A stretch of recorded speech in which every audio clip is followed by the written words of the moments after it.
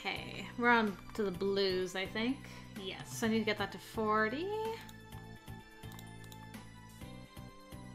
Uh, I actually need to get green to 35 as well. Ah, we'll wait. We're pretty close to 35. It'll be basically one or two classes, and we'll be good to go again. I can't wait to see what bomb Suki has for us today. Girl knows. She can see into our mind's eye. What wings do you have? Do you have dragon wings, Suki?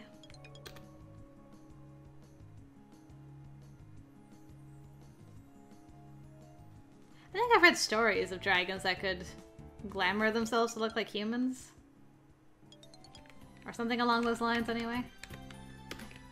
That sounds kind of familiar to me. I can't put my finger on why. Um, blue, blue, sleep, blue, blue.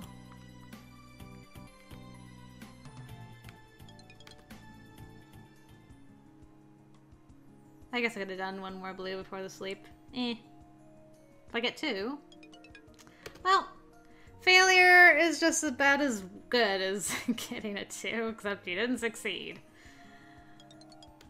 But it still added up to 25 stress, so worked out in the end. Bingo, I'll play. I'll just buy one ticket, though. Didn't win anything, that's okay. Study with Minnie. Ah. I'm leaving the cafeteria after lunch when I encounter... Suki? I haven't seen much of her lately. In fact, I've been trying to avoid her. But she looks upset. Are you alright? You don't think I am, so you're not really asking. Why do people ask questions if they aren't looking for the answers? It's the polite way to let you decide whether you want to talk about it or not. But I could decide that anyway. Yes, but it makes it easier for most people to follow the path of a conversation. Conversations don't have paths. Hers certainly don't. Alright, what's the question that I'm really asking? You appear to be upset. Is there anything I can do that would make you feel better? Could you find my brother? Is he a student here? He graduated last year. Then I guess I can't. He's only been my brother for a few years, but we always had birthdays when he was at school. Do you think he's not my brother anymore? How could... No, better not to ask. The answer would probably confuse me. I don't know him, but if you were close before, I don't think graduating or having a birthday would make that go away. There wasn't a letter, or a card, or a present, or a box. I like the boxes more than the presents. It's fun to cut them open. Anything could be inside. But there wasn't anything. Maybe the mail was eaten by Comras. Maybe... To my surprise, she starts to sniffle. Huge wet tears well up in her eyes and roll down her face. Aw, poor Suki. Hey! Hey, don't cry, please. Do you think people cry because they want to? No, of course not. Suki seems lost in her own world so often, it's easy to forget that she's a young girl away from her home and her family. Like all of us, she's lonely. In my homeland, we don't give presents to people for their birthdays. Instead, the person whose birthday it is creates a celebration and invites their friends to enjoy your company. If your brother is late in writing to you, you can still choose to give yourself a happy birthday. Who would I invite? Uh, your friends? She does have friends here, doesn't she? There must be people she talks to more than me. There have to be. We've barely spoken. Suki pushes her hands into her soft round cheeks, stretching and wobbling her face as she rubs the tears away. Maybe I could call someone. That sounds like a plan. I don't know her well enough to touch her for comfort, so I only clap my hands together and smile at her. there you go. You should go and have your lunch before it's too late. That's probably true. Still distracted, but hopefully a little less upset, she goes past me into the cafeteria. I wish there was something more I could do, but I wouldn't have any idea what kind of birthday present would make her happy, and I'm not her brother anyway. I hope she's alright. Hmm. Ever the enigma, Suki. Birthday girl. I found Suki Sato being upset because, as far as I could tell, her older brother hasn't sent her a birthday present yet. I suggested she could hold her own birthday gathering, but I know that's not the same. Isn't she a freshman? So when would they have gone to school together? Or is she a year older? I kind of assumed she was a fr- no, she was a freshman because she was in the freshman elections for president. Huh. I just don't know. Hopefully her brother didn't get expelled. Aw. Would sending Suki a valentine make her feel better? It would show that someone was thinking about her at least. Um, I do need to order one, yes? Yes. Of course I do. Well, let's go for it. See what happens. I don't know if Suki has a friendly ending. I will try. She has a bad ending for sure. So, we shall see. Nice.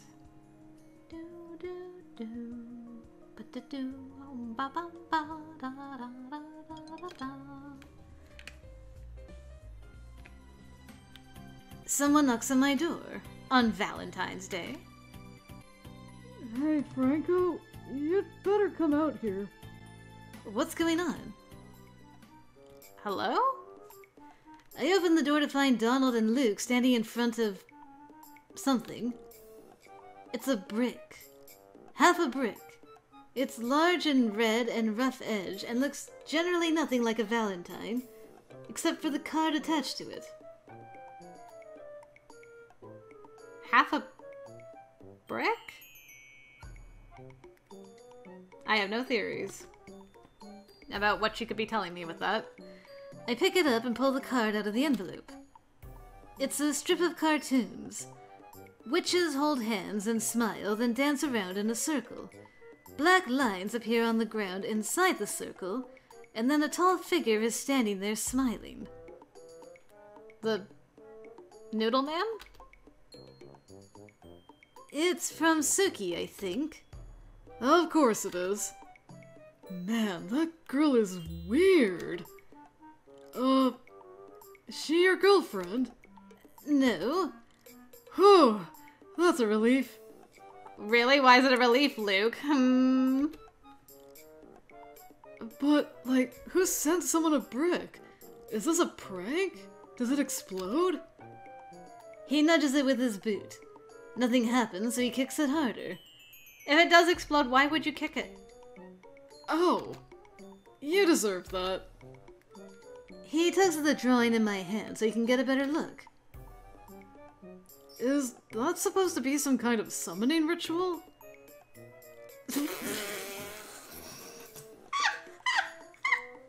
I looked down to love. I lost it. Luke, stop. You're winning my heart back again. Maybe she wants to summon you to her bedroom for love. Or to make you a zombie. A brick, a ritual, a valentine. What does it mean? I. It's half a brick. It's Suki. Does it mean anything at all? Let's go check on Suki. I've got a very bad feeling about this. Is the brick supposed to represent the rock? Is she summoning the Noodle Man and wants me to bring the brick to dispel the water that she's summoning summoning it through? For Valentine's Day? I'm worried. I pick up the brick. It's heavier than it looks, but nothing I can't carry. Still, I wouldn't want to be hit with it. I'm going to Snake Hall to be sure nothing's wrong. Uh, okay. And I think I better hurry. I don't know exactly which room is Suki's. I've never asked her. It's not like we're friends. We did come by, but I guess we can't assume that one door we knocked on was hers. But one bedroom door gapes open like an invitation. That's where I need to be. Whoa. If I weren't so worried, I would be shocked by the difference between this Snake Hall bedroom and my own. Plush chairs, an Iranian style knotted rug, a canopy bed with silk coverlets. I thought I was getting special treatment. She's a dragon. She hoards beautiful things. None of that matters, though, compared to what I see happening in front of me. Suki and Raven are kneeling on the floor, holding hands. In front of them, a complex ritual pattern has been laid out, lines and circles formed by a lumpy green powder. And in the center of the pattern, flat against the floor, lies a mirror. The reflective surface throws light up against the ceiling. Still waters! From where I stand, I can look down into the mirror and see a dark shape, distant but growing steadily larger. How did you talk Raven into the Suki? He is not the cat-faced monster of my imagination, but he is tall and thin, and has long arms and long, long black hair. Suki sits, chanting, her eyes closed, defenseless. Step by step, the creature beyond the mirror moves closer to the boundary. He snatches at a long fingered hand. Be gone! Careful not to disturb the pattern, I heft the brick and throw it into the mirror, shattering the surface. I can't believe this is our Valentine's Day. I blast the area with waves of fear, sending Suki and Raven scrambling into the hallway in a mindless panic as well as driving back any lingering watchers. Nice. Breathing hard, I step back into the hallway and close the door behind me. This is appropriate music for yelling at you two. What were you up to? I can't believe I called what the brick was for. What did you think you were doing? Having a birthday party by getting yourselves dragged into the other world and eaten? I'm turning into Grabiner, aren't I? Oh no, you are. She. she said we were summoning a friendly spirit. And we did! The ritual was for me to come. You could have just asked me without summoning the demon thing from my inner brain. Raven looks at me in confusion. Are you her roommate? She nods. And you didn't see anything dangerous about this plan? I always wanted to summon a spirit, and she sounded like she knew what she was doing. I do know. I had all the wards and bindings. She couldn't touch us if she didn't want to be friends. It's true, that did look like a proper summoning circle. If she did all the rituals correctly, then any being who answered her call would be bound to her terms. Still, considering the nature of the thing she was trying to call to her, that's more risk than I would want to take. But we summoned you instead, and that's nicer. Professor Potsdam doesn't like it when I try to keep pets. I am not a pet. Isn't that what I said? I can only sigh. Um... Doesn't breaking a mirror mean seven years of bad luck? Not if I bury it outside tonight. It's a good thing there's moonlight. Please don't try to summon those creatures again. At least not while you're a freshman. Okay. That's not much protection, but I can't even think of all the things I'd need to get a girl with no sense to agree to in order to prevent disaster. Which is one reason summoning spirits is so dangerous. All the possibilities you haven't thought of. Are you going to tell on us? What does tell on you mean? She wants to know if you're going to tell your friend Hieronymus to give us detention. Hieronymus Grabiner? Your friends? No, it's not like that. He's never been a father before, you know. It's not easy for him. oh no! Suki, you're giving Raven all these ideas, and I'm falling for Raven again. He's your father? No! Nothing bad happened, and you won't try this again, so there's no need to report it. Right? I just want the situation to go away. And now we got a new rumor going around school. I. I guess I should go to class. She escapes. Let's clean up the mess. Right. We need to remove the circles, purify the room, and collect all the glass. I guess I'm going to be late. Happy Valentine's Day! Thank you for the card. Uh, you're welcome. Strange as it seems, this whole affair appears to have cheered her up. I don't know what to make of that.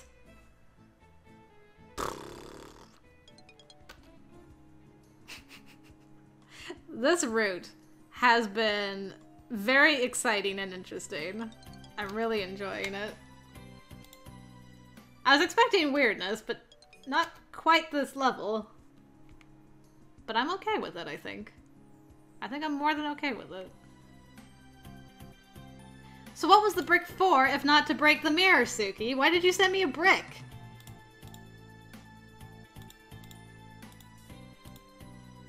Summoned. Suki and Raven tried to summon an otherworld monster in their dorm room. I disrupted the ritual. For some reason, Suki seems happy about how it all turned out. Because of course she does.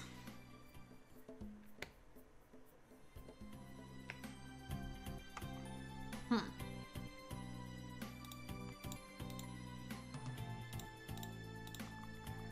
Well, let's see how this goes. Okay, nearly at 40.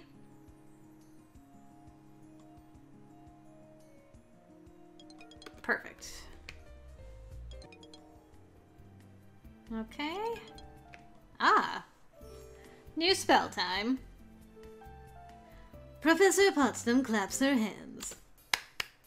Look at all these bright, shining faces. So alert, so studious, so filled with potential and energy. Well, not for very long. What? What is she talking about? Sleep. The next thing I know, my face is pressed flat to the surface of my desk. Groggily, I push myself back up. Don't you all look darling? Like little cabbages in a row. Violence is not the only way to stop someone from interfering with your plans. The gentle touch of sleep can remove an obstacle swiftly and without harm. Of course, sleep does not last forever. If it did, we wouldn't have much of a class left. Causes a living target to fall asleep for four turns unless disturbed. I wonder if I can use that in the final exam. Speaking of exams, here we go! Frog time. I find myself staring at the bulbous eyes of an unfamiliar creature which is standing back out of reach. There are no stairs out of this dungeon. The Riparian's goal is to find and claim the silver chalice hidden somewhere in the labyrinth. Your goal is to get there first. Seize the chalice and you pass the test. As the words fade away, I hear a series of echoing croaks, but I can't make any sense out of them. Okay, first things first. Whoops. Frog. And spellbook. What do we have?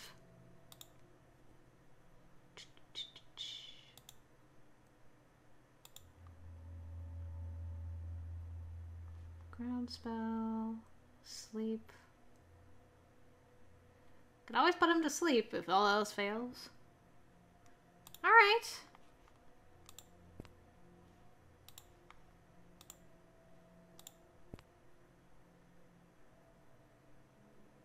Did you really just psych me out, Mr. Frog?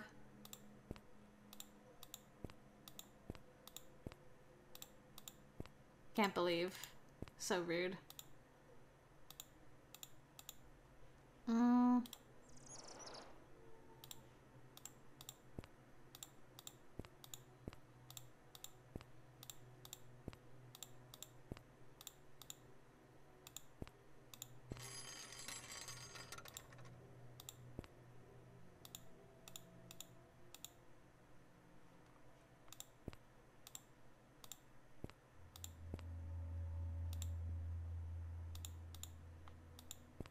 Well, you and me can stick together.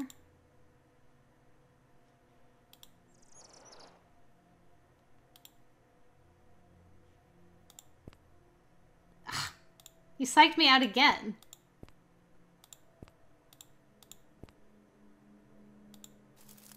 Oh!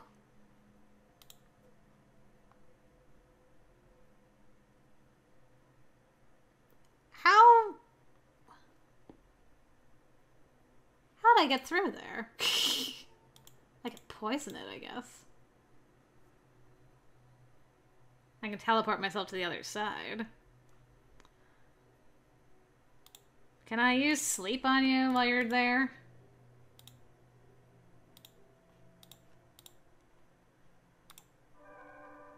Nice.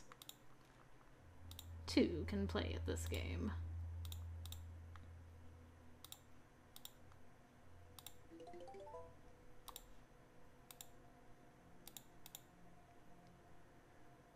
Unfortunately, I don't know which way it is. I have no magic left.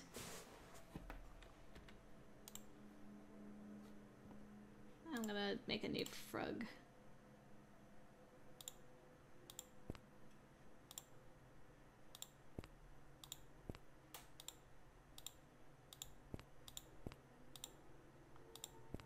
Did I guess... I guess correctly. Get hecked, frog. Did it. When I can feel my feet again, I am standing in the school quad and I have to shield my eyes against the sunlight. Congratulations, Franco! For succeeding in your quest, you receive five merits. I hope you enjoyed putting your skills into practice. Now, if you'll excuse me, I have another student to look after. Looks like I'm finished for the day. Man, what a great spell sleep is. I like that a lot. Um, we are going to study with Minnie. Should we read about anything? Mm,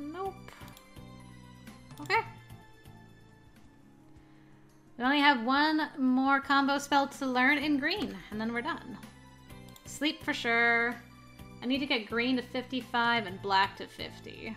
So I guess we'll just go back and forth.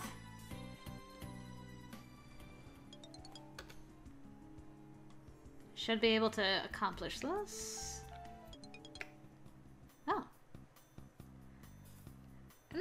My little wanderers, how do you choose what actions to take from one moment to the next? With the mind and spirit, yes? Your thoughts and your decisions? But how do you receive the knowledge you use to make those decisions? How do you experience the world? Be sensible. It is the senses of your body which take in your surroundings outside and create your world inside. When your senses are shifted out of phase, your world is altered and your decisions no longer make sense. Interesting. This spell combines blue and green magic to disarray the target's senses, throwing them into confusion. Oh, this is the combo blue and green spell. So what was the other spell I learned? It was a mixture of something else, I guess, that I haven't learned before. Under the influence of this spell, a creature might walk into a wall, attack their own feet, or simply fall over. The effects are unpredictable. Some find the experience intriguing. However, experimenting with your own perception should only be done with a fully qualified witch to act as your sitter. If you use this spell on hostile beings, they are still likely to attack, even if their choice of targets may be random. If there are many possible targets nearby, it is more likely that they will attack something other than you. Therefore, if you are pursued by a group of angry shareholders, you might disrupt the whole pack by scrambling only one. Pardon? Shareholders? What is she talking about? It's probably better not to ask.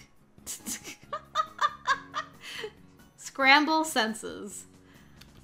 Interesting. Boston, what have you been up to with your your druggy spell? Uh, that's too funny. I will volunteer. And I will study with Minnie. Yeah, let's go on vacation. To you pick, Dad. Let's see.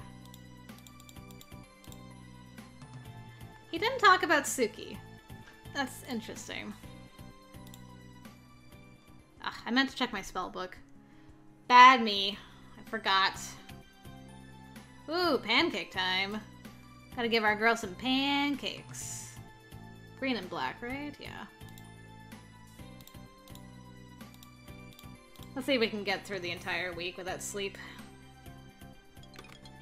Probably a mistake, but we'll try.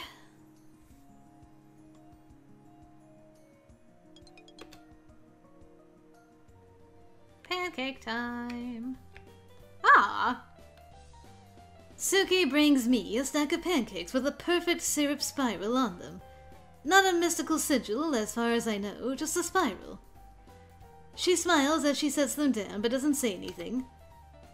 Luke at my side nudges me with an elbow. What do you want, you troublemaker? Why is this the couple that you're the most interested in, Luke? I love Luke. Franco and Suki sitting in a tree. Why would we sit in a tree? K I S S I N G? I take a second to put the English word together. I am not kissing her. Kooky Suki, Kooky Suki. I roll my eyes. Whatever you say, Lukey. Dang, got him. Roasted him. She's being friendly because she's nice. Probably too nice. Especially when it comes to trusting other world entities. I'm going to give her a pancake. so take that, Lukey. I head to the stage and pick up a plate of pancakes. I can't think of anything fancy to do with the syrup, but I think she likes sweet things, so I make sure there's enough of it. Then I deliver the plate to Suki and go back to my seat, feeling proud. Luke gives me another funny look, but he doesn't say anything. After that, I can settle down to enjoying the Vermont maple. Yeah, that's right. I got her pancakes. What, what of it? Luke, what are you gonna do? Probably just be sad that we're not interested in you. Bet we'll play bingo. Oh, we won! We won money! What am I gonna do with all that wealth? Do I need anything else? I could buy a wand. Let's go. Let's do this. Let's get some wands up in here. Let's get a fancy wand. Feeling fancy today. Look at us! Pretty neat. Uh, done? No, diary. Definitely gotta read diary. Maple ceremony. We had a pancake supper to celebrate the maple harvest and encourage social interaction.